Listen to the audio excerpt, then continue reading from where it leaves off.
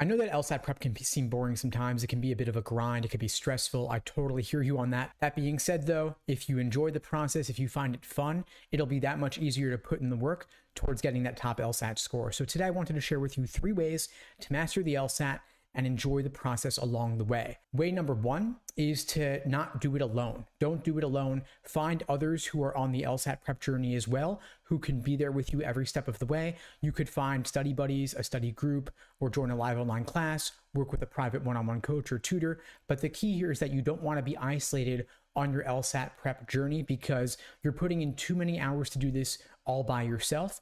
And if you find others who are going for the LSAT as well, going to law school as well, you can actually make lifelong friends in the process of studying for the LSAT.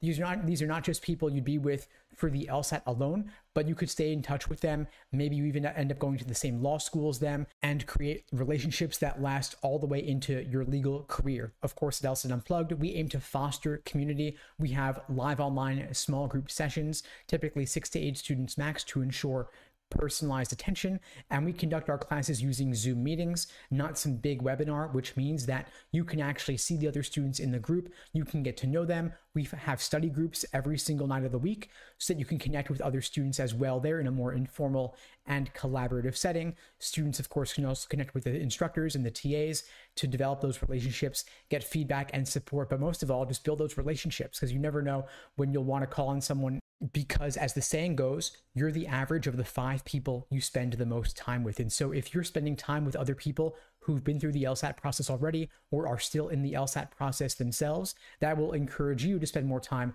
on your LSAT journey as well, rather than getting pulled in all directions with other obligations like work, school, and such.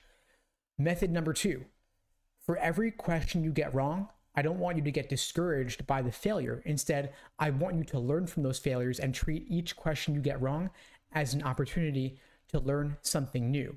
Because the thing is, the point of doing LSAT questions, the point of taking timed sections or full length practice tests is not just to measure yourself.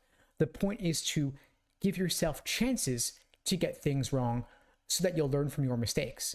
If you were getting every single question right, that would mean either you're getting 180s on actual test day, or more likely, perhaps, you're only tackling easy questions. So I want to encourage you do some tougher questions.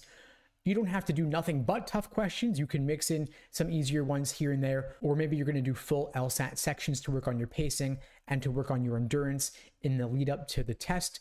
But you don't want to do nothing but easy questions, or else what's the point really? You already know you're able to get those right. You want to handle intermediate difficulty questions or hard questions to make sure that you're encountering things similar to those you'll encounter on test day, but you get it wrong now, so you don't get it wrong on LSAT test day. You give yourself opportunities to review difficult questions that you would have gotten wrong on the exam so you can figure out which tricks and traps that you personally are uniquely prone to falling for so you can extract those key takeaways from that discussion of that difficult question so that you can avoid making the same mistakes again. Method number three reward yourself every time you hit a certain milestone. You could be watching Legally Blonde, you could watch Suits, you could watch really whatever you want. But the idea here is that you have checkpoints along your LSAT prep journey where you're giving yourself a de- dedicated time to take a break from the LSAT once you've hit your goal for the day. So for me personally, I found those 500 page LSAT textbooks so boring that I would reward myself by watching an episode of Chappelle's Show after I finished each single chapter in the book. So I finished a chapter, I took a break, watched an episode of the show, back to the book. I wouldn't let myself take breaks in the middle of a chapter because then I was too prone to give myself a break whenever I encountered a hard part of the chapter or a hard practice question. So instead, I said, I've got to finish the entire chapter before I can take a break. And so those mini rewards along the way helps motivate me to get through the entire textbook.